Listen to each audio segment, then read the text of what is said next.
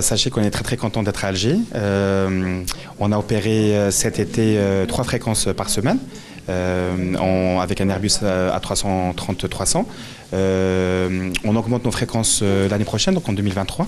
Donc on sera de retour à Alger le 16 juin et jusqu'au 30 septembre. à raison de quatre fréquences par semaine. Donc on va opérer les lundis, mardis, jeudi et samedi.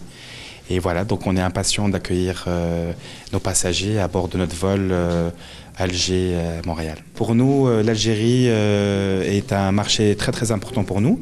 On est très content et très fiers de pouvoir opérer des vols au départ d'Alger.